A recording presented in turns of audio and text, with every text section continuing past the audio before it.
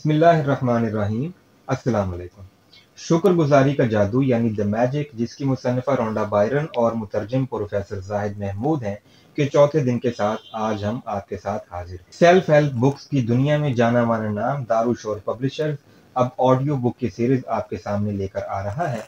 अगर आपने अभी तक हमारा चैनल सब्सक्राइब नहीं किया तो सब्सक्राइब के बटन पर क्लिक कीजिए और साथ ही बेल आइकन को भी दबाइए, ताकि आपको हमारी अपडेट्स पर वक्त मौसू होती रहें। तो नाजरीन तो सामीन, शुरू करते हैं चौथा दिन जादू भरी सेहत। रूमी शायर वर्जिल ने कहा था, सबसे बड़ी दौलत सेहत है। हमारी ज़िंदगी की सबसे कीमती शय हमारी सेहत है। इससे कीमती शय हमारे लिए कोई नहीं हो सकती। हम में से अक्सर लोग अपनी सेहत के बारे में सिर्फ़ इसलिए फिक्रमंद होते हैं, जब हम उसे खो बैठते हैं। तब हमें इसकी हकीकत और अहमियत समझ में आती है। यह एक मुसलमा अमर है कि सेहत के बगैर हमारा सब कुछ फजूल है। एक अतालवी कहावत है जो हम में से अक्सर लोगों पर सादिक आती है कि दौलतमंद सिर्फ़ वो आदमी है जो अच्छी सेहत से मुस्तफ़ होता है। अगरचे वो इस हकीकत से नावाकिफ ही क्यों ना हो? ये बात सौ फ़ीसद दुरुस्त है कि असल दौलतमंद या अमीर आदमी वही शख्स है जिसके पास अच्छी सेहत जैसी दौलत मौजूद है। ये बात भी हकीकत है कि जब हमारी सेहत अच्छी होती है तो हम उसकी तरफ़ कम ही ध्यान देते हैं। ये बात आपने कभी महसूस की होगी कि जब हमें नज़ला ज़ुकाम या बुखार जैसी हल्की फुल्की बीमारी लाक होती है या किसी और बीमारी की वजह से हम साहिब फिराश हो जाते हैं। अलावा अभी ये भी आपने महसूस किया होगा कि जब आप बीमार होते हैं तो इस वक्त आपकी सिर्फ़ एक ही ख्वाहिश होती है कि आप किसी न किसी तरह शिफा याब होकर बेहतर हो जाए। अपनी सेहत की बहाली के अलावा और किसी चीज़ की फ़िक्र आपको नहीं होती। इंसानी सेहत ज़िंदगी का सबसे बड़ा तोहफा है और ये अतिया खुदाबंदी है। ये ऐसी चीज़ है जो ना सिर्फ़ आप हासिल कर चुके हैं, बल्कि हर रोज मुसलसिल हासिल करते रहते हैं। दूसरी चीज़ों के साथ साथ हमें सेहतमंद रहने के लिए भी कुछ ना कुछ ज़रूर करना चाहिए। सबसे बुनियादी काम ये करना चाहिए कि हमें ज़्यादा से ज़्यादा और तवातुर के साथ सेहत के हसूल के लिए अपनी सेहत का भरपूर शुक्रगुजार होना चाहिए। याद रखें, जो शख्स भी सेहत का शुक्रगुजार होगा, उसे मजीद सेहत मिलेगी। बल्कि इसके पास सेहत की फरावानी होगी और जो शख्स सेहत का शुक्रगुजार नहीं होगा, इससे ये दौलत छीन ली जाएगी। आप ऐसे बहुत से लोगों से वाकिफ होंगे जो कि कभी अच्छी सेहत के मालिक थे, लेकिन अब वो इससे महरूम हो चुके हैं, क्योंकि उन्होंने इसकी कदर नहीं की और ना ही कभी इसके शुक्रगुजार रहे। हालाँकि आप जानते ही हैं कि सेहत के आप जितने ज़्यादा शुक्रगुजार होंगे, ये आपको उसी कदर ज़्यादा मिलती चली जाएगी। इसके अलावा ये भी याद रखें कि जब आप अपनी सेहत के शुक्र गुजार होंगे तो आप अपनी मौजूदा सेहत को ही बरकरार नहीं रख रहे होंगे, बल्कि आप अपनी शुक्रगुजारी के जादू को हरकत में लाकर इसके ज़रिए से सेहत में मजीद इजाफा कर रहे होंगे। जैसे ही आप शुक्रगुजारी का ये अमल शुरू करेंगे तो फिलफौर देखना शुरू कर देंगे कि आपकी सेहत में ज़बरदस्त बेहतरी आना शुरू हो गई है। हल्का फुल्का दर्द या छोटे मोटे जख्मों के निशान वगैरह तो जादुई अंदाज में गायब होना शुरू हो जाएँगे इसके अलावा आप ये भी मुलाहजा करेंगे कि आपकी तवानाई कुत और खुशी में नुमाया इजाफा होना शुरू हो गया है। अब आगे आने वाली मश्क में आप सीखेंगे कि अपनी सेहत के शुक्रगुजार होने की यौमिया मश्क के ज़रिए से कैसे आप अपनी आँखों की बिनाई को बेहतर बना सकते हैं और कैसे आप अपनी समाज, तमाम हवा से खमसा और अपने जिस्म के तमाम फ़ंक्शन को बेहतर कर सकते हैं और ये सब कुछ बिल्कुल शुक्रगुजारी के जादू की तरह पलक झपकने में हो जाएगा।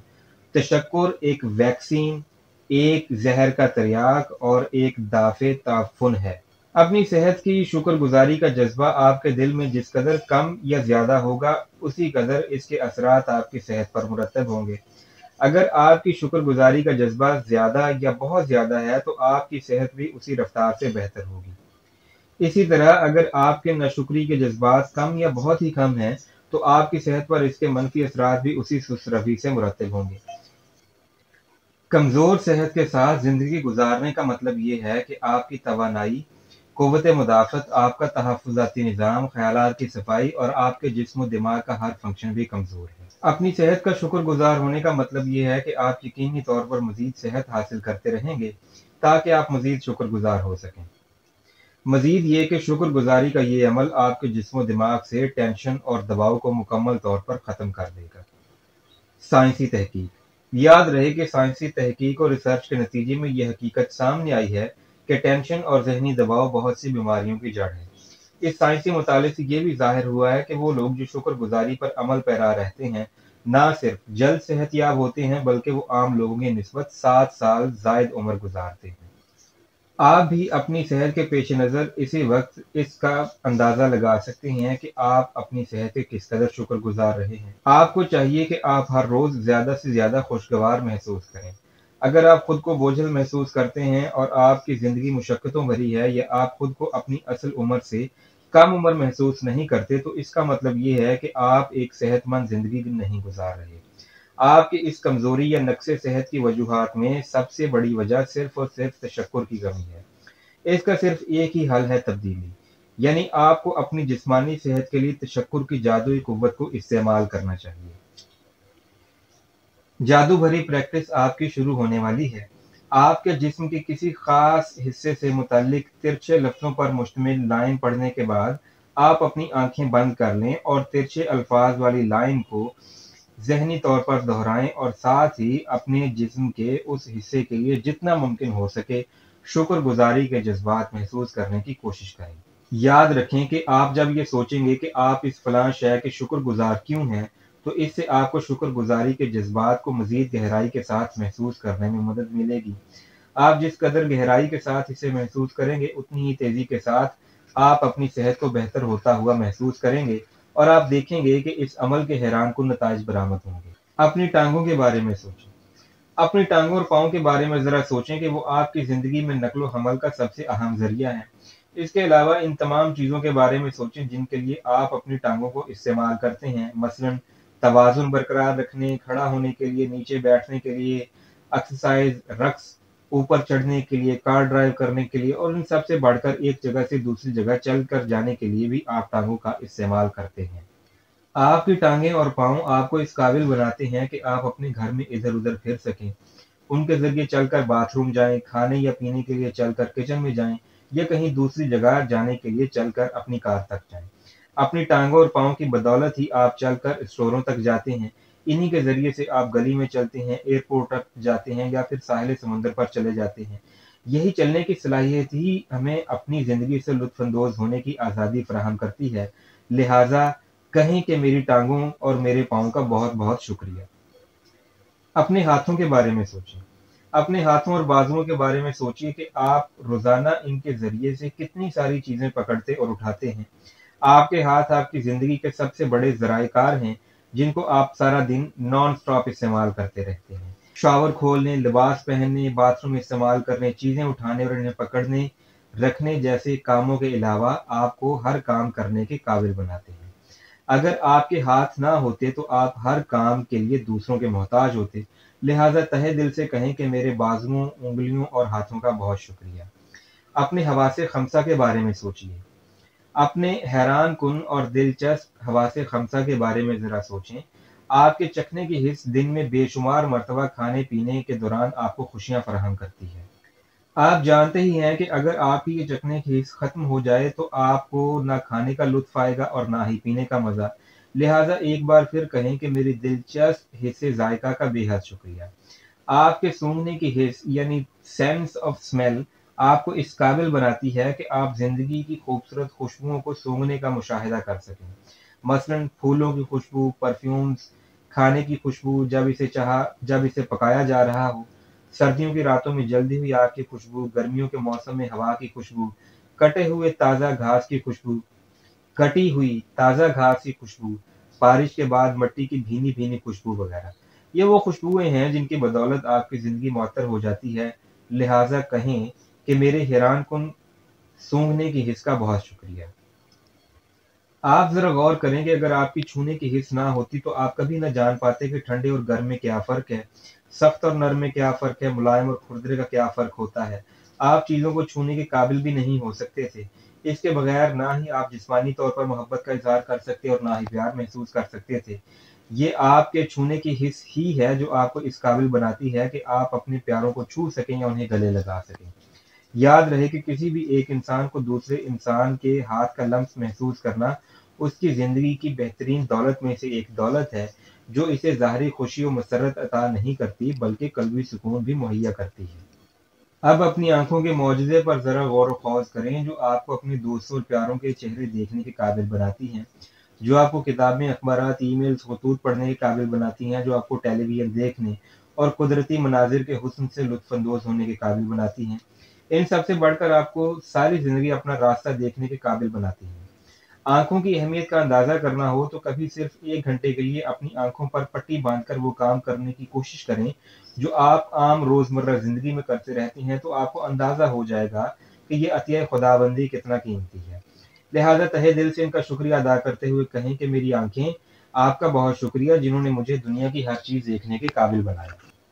अपने कानों की अहमियत पर गौर कीजिए जो आपको अपनी आवाज़ समेत दूसरे लोगों की आवाज़ सुनने के काबिल बनाते हैं ताकि आप दीगर लोगों के साथ गुफ्तगु कर सकें। कानों के बगैर या अपनी हिस्से समात के बगैर आप तो, आप ना तो टेलीफोन इस्तेमाल कर सकते हैं न मौसीकी से लुत्फानंदोज हो सकते हैं ना रेडियो पर खबरें सुन सकते हैं ना अपने प्यारों की मीठी मीठी बातें सुन सकते हैं और ना ही अपने इर्द गिर्द की दुनिया में होने वाली बातों से बाखबर हो सकते हैं। लिहाजा अपनी समात का शुक्रिया अदा कीजिए और ये कहिए कि मेरी हिस्से समात तुम्हारा बहुत बहुत शुक्रिया। ये भी याद रहे कि इन तमाम हवा से खमसा का इस्तेमाल दिमाग के बगैर नामुमकिन है। ये दिमाग ही है जो इन हवास खमसा के ज़रिए महज एक सेकंड में एक मिलियन, यानी दस लाख से ज़्यादा पैगाम को जेर अमल लाने के लिए फ़राइज सर अंजाम देता है।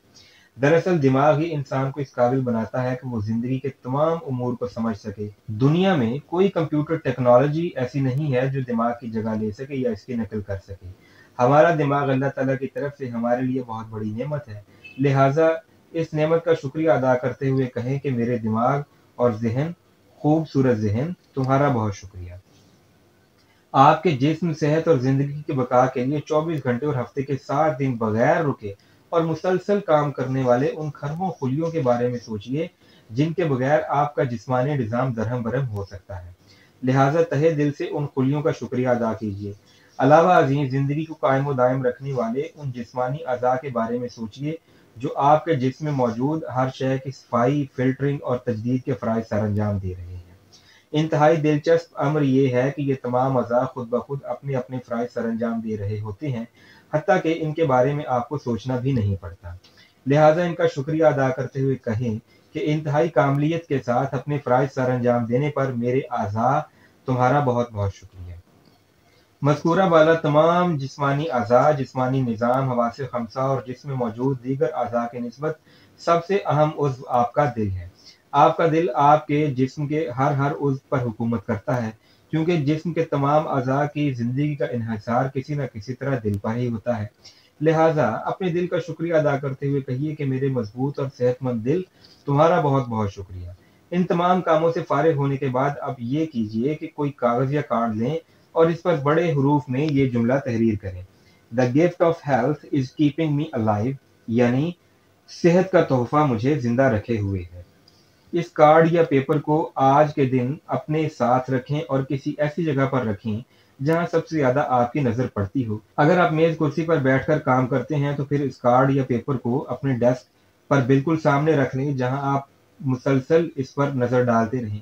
अगर आप ड्राइवर हैं तो फिर इसे डैशबोर्ड या ऐसी जगह पर रख दें जहाँ से ये आपको नज़र आता रहे। अगर आप घर में ही रहते हैं या आपका ज़्यादातर वक्त घर में गुजरता है तो फिर आप इस कार्ड पेपर को किसी ऐसी जगह चिपका दें जहाँ आप मुँह धोते या जहाँ आपका टेलीफोन रखा रहे। या फिर ऐसी जगह का इंतखाब करें जहाँ आप पहले भी कुछ ना कुछ लिखते रहे।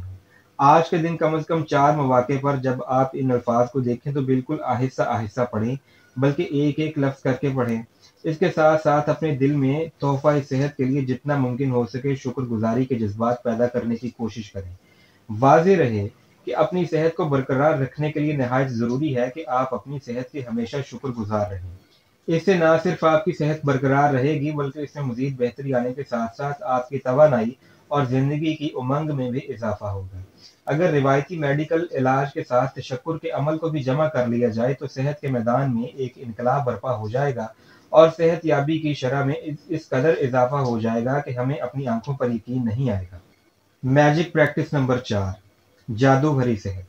नंबर एक मैजिक प्रैक्टिस नंबर एक के पहले तीन मराहल को दोहराएँ अपनी नियमतों को शुमार करें दस नियमतों की एक फहरिस्त तैयार करें और वजह बयान करें कि आप इन नियमतों के शुक्रगुजार क्यों हैं।